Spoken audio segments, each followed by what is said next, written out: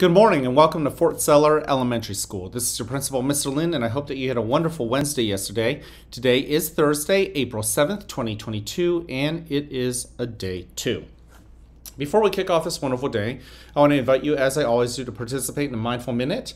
And um, as I always say, the Mindful Minute is sounds fancy, you know, but really isn't. It's just noticing that you exist. It's noticing what's around you and noticing what's inside. Okay, so let's use our eyes and just scan our environment. Look for something that catches your eyes, something that perhaps you're grateful for, and simply observe it, study it, identify what it is, what is it meant to do, how far away it is. Um, you know, does it look brand new? Does it look a little worn? You know, all the things that you might be able to pick up with your eyes.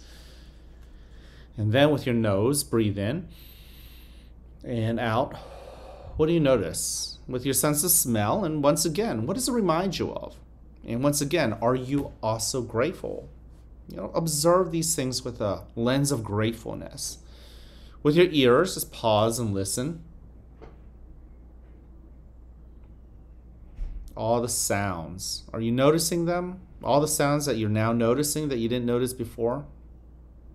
Yep, they're there. And then with your skin, what do you feel with your sense of touch? Clothing, temperature, the humidity, those things. Now we're going to move on to our breathing technique now. And as I have shared with you uh, in the last few days, our goal was to bring in another one of our classmates to share a new breathing technique.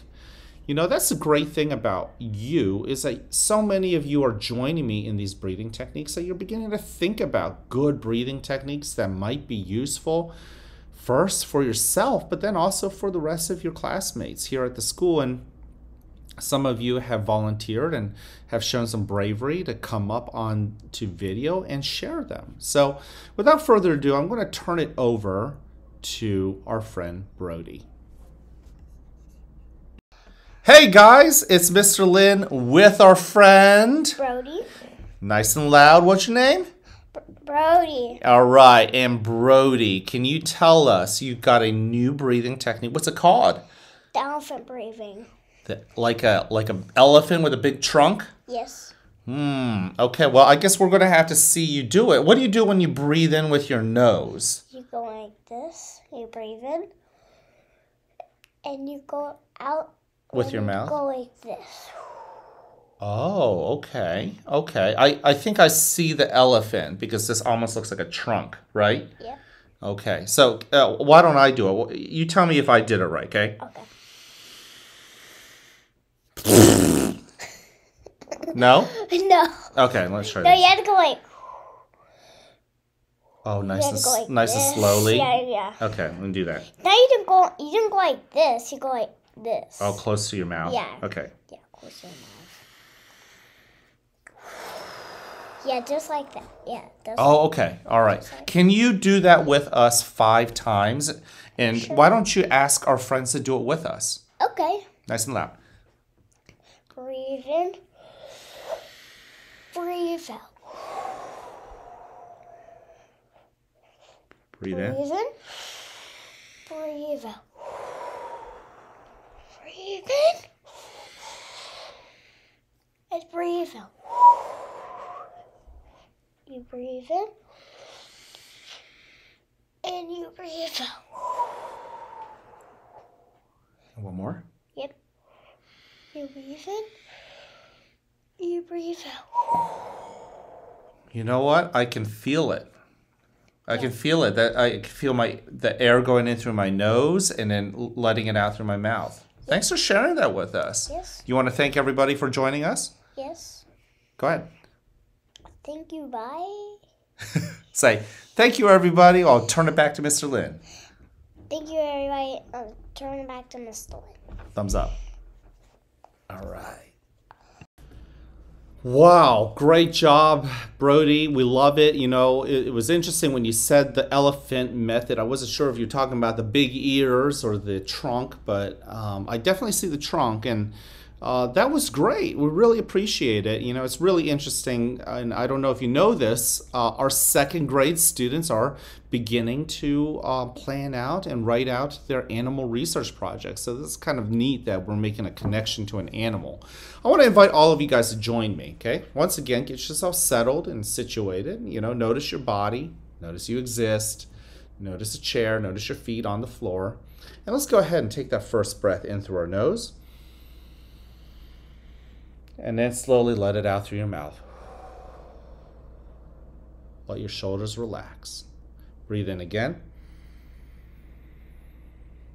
And slowly let it out.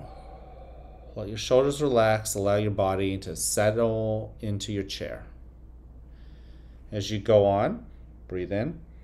Make sure your brain is thinking on this moment, how amazing this breath is. Breathe out but also scan your own body and notice the different parts of it. Scan through it from the toe to your your toes to your head. Breathe in.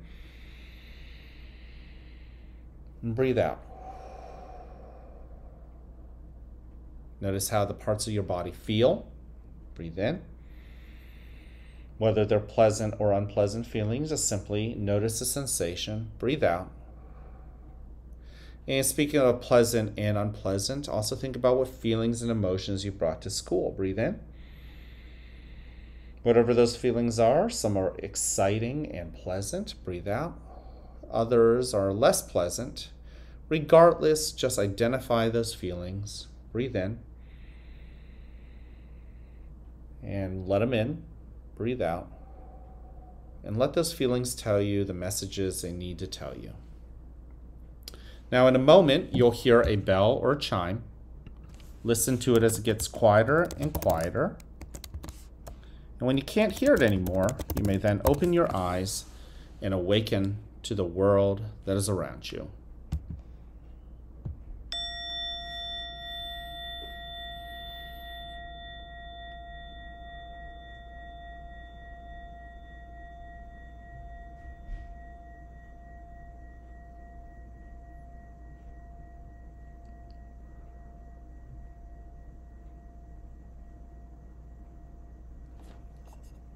Welcome to a new day right here at the fort where you are loved, where you are cared for, and where we want you to succeed.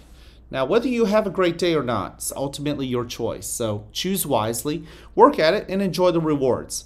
At this moment, please stand and face the flag for the Pledge of Allegiance. I pledge allegiance to the flag of the United States of America and to the Republic for which it stands, one nation under God, indivisible, with liberty and justice for all. Thank you. You could go ahead and take a seat. I want to thank you for joining me in the Mindful Minute. Great job, Brody. We love your new breathing technique. That was real fun to do it with you, and it was also fun to share it with everyone else at our school. Don't forget, we have three expectations here at the school. Number one, most of you guys showed that right now, which is that respect to Brody as he shared the elephant breathing technique. You guys were most likely using your eyes, watching the screen, and your ears to listen. And I'm sure there's going to be that time when it's your turn to use your mouth to express yourself, whether it's sharing your breathing technique or even just whatever ideas pop up that are part of a lesson that your teachers are teaching. Well, when it's your turn to talk, I hope other people give you that same respect with their ears and with their eyes. All right, now let's also be responsible with our hands and our feet and the words that come out of our mouth and the way we think and the attitude we put forth on things because uh, our attitude is something we can be uh, in control of, that we should practice being in control of. It's something we can be responsible for. You know, I was talking to a second grade uh, girl yesterday, and we were talking about this uh, this message I actually shared with a lot of you earlier this year, which is our hands can be used in hurtful ways or helpful ways, but our whole body can be used in helpful or hurtful or lazy ways, right? So allowing yourself to recognize you don't have to change, you just have to put the best version of yourself out there. You see, there's a lazy side of me, there's a angry side of me, there's a side of me that I'm not very proud of. And I know I can act that way. And what I've been trying to do as I get older and older is I try to take that Mr. Lin that I'm not so proud of and I try to put it back in the box is what I really want to show you and myself is the best version of me. The the version that says I love you, the version that roots you on, the root the the the version of me that wants to help whenever someone needs a hand. That's the version of Mr. Lin I keep trying to show and I hope I'm doing a good job. I hope you think that I'm doing a good job. And I hope too that you're trying to show the best version of yourself as well. That's also part of being responsible, just as important as keeping your promise, just as important as doing your homework, taking care to use yourself in the best version. That brings us to being ready.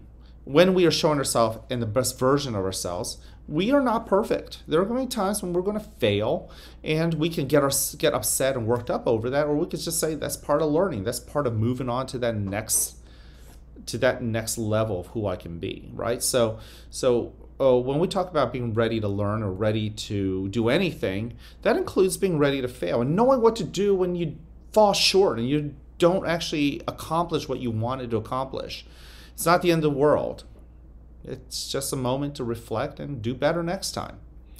And uh, that brings us to our character trait of the month perseverance. Don't give up. Keep swimming. Keep swimming you know how that goes. You know, there are times when it's easy to want to give up. It's t- it's easy to crawl into your shell or hide under the covers of your bed because you don't really want to face the world and everything that is asking you to do. But if you take the moment to say, you know what, everything I do for the world is also making me better. If you know that you're going to be a better person by living life and trying your best, why not do it? Okay, so show that perseverance. Last but not least, and I mean this so much, I love you guys just the way you are, how different you are, and how you're evolving. Yes, we're changing. We're supposed to change in school. We're going to learn more and more things and apply it. But also, I love the way you are, especially the best version of yourself. So, today, boys and girls, show the best version of yourself. Go find other people. Tell them you love them just the way they are. Give them thanks. Say thank you for being a part of the, uh, your life and uh, let's enjoy this day together. All right? Can't wait to see you guys around. Have an amazing Thursday.